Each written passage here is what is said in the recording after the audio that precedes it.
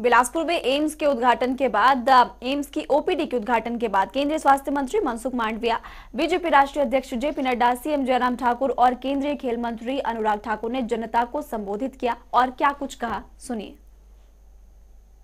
में जाना है, हिमाचल ने करके दिखाया है, उससे ज़्यादा दिक्कतें कहाँ भी नहीं हो सकती। कोई ऐसा कहेंगे कि मेरे राज्य में तो ये दिक्कतें है दिक्कतें है तो मैं तो केवल इतना ही कहूँगा, हिमाचल से ज़्यादा दिक्कत होगी क्या? पहाड़ भी है, दूर सुदूर इलाके है, बर्फ़ है, स्नो है, ऐसी स्थिति। और ऐसी स्थिति में भी जो शत प्रतिशत टीकाकरण हो जाता है तो अन्य राज्य में होना सरल हो जाता है। ये एग्ज़ाम्पल हिमाचल प्रदेश ने स्थापित किया है, इसलिए हिमाचल प्रदेश को मैं अभिनंदन करता हूँ। आदरणीय नड्डा जी, आदरणीय जयराम ठाकुर जी आदरणीय अनुराग ठाकुर जी, सब लोगों ने यहाँ मुझे बुला के आप सब लोगों का दर्शन करने का अवसर दिया। आप सबको अनेक अनेक शुभकामनाएँ, धन्यवाद। लोगों ने एम्स का रिव्यू किया। मनसुख भाई मंडाविया जी ने बहुत गहराई से उसके बारीकियों को समझा। एम्स के प्रशासन ने बहुत गहराई से सारी बातों को बताया है। और यह इस निष्कर्ष पर हम पहुँचे हैं कि 2022 के जून तक यह पूरी तरीके से तैयार हो जाएगा और यह जनता को समर्पित होगा।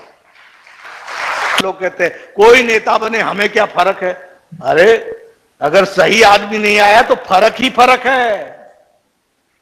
एक तरफ़ छुट्टी और एक तरफ़ आपको एम्स। ये फ़र्क है, मोदी जी के आने का फ़र्क है, इसको समझना चाहिए। आपने कभी देखा, मैं बिलासपुर के लोगों को पूछना चाहता हूँ पंद्रह साल तो मैं भी आपका एमएलए रहा। कभी आपने देखा कि कोई केंद्रीय मंत्री आया हो, बिलासपुर में? कोई देखा, बताओ। और जो आपके प्रदेश के आए, वो एक काम लेके आए चार चार धाम खा के गए। हाँ या गलत? हाँ या हाँ ठीक बोल रहा हूँ कि गलत बोल रहा हूँ?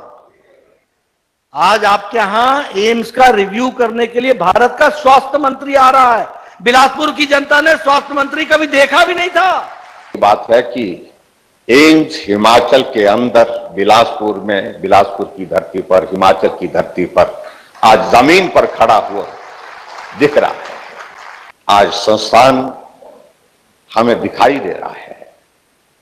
ज़मीन पर खड़ा एम्स अब सेवा देने के लिए हिमाचल के लोगों के लिए तैयार होता दिख रहा है।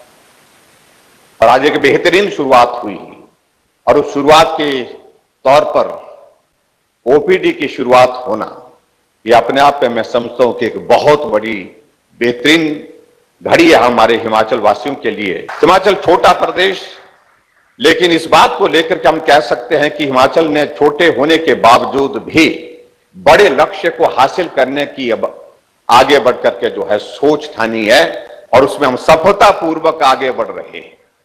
किसने कल्पना की थी? पोलियो का टी, पोलियो के ड्रॉप्स तो लगने।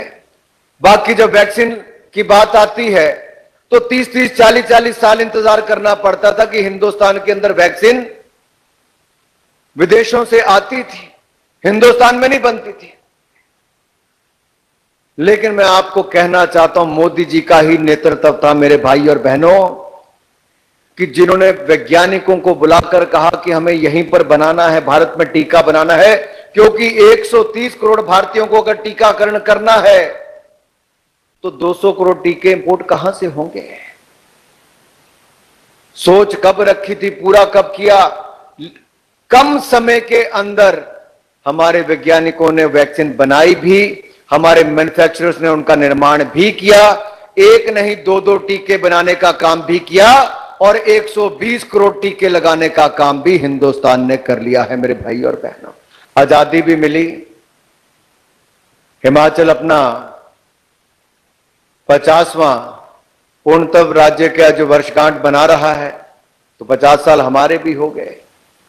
लेकिन किसी ने एम्स तो छोड़िए, कोई और बड़े अस्पताल के बारे में चिंता भी नहीं की थी। 2014 में नरेंद्र मोदी जी की सरकार आई तो पहले ही बजट में अगर किन्हीं राज्यों को एम्स की घोषणा की तो नरेंद्र मोदी जी ने भारत को, हिमाचल प्रदेश को एम्स देने का काम किया।